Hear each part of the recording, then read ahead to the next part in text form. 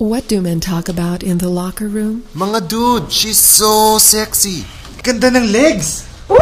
At pag malapit, kitang-kita na makinis. Nakakagigil. Ang bango-bango pa niya. Oo, shake hands pa lang. Tameme na ako sa lambot. Mahal ko na siya. Pinag-uusapan niya ba girlfriend ko? Captivate your man with soft, scented, sexy skin by Camay.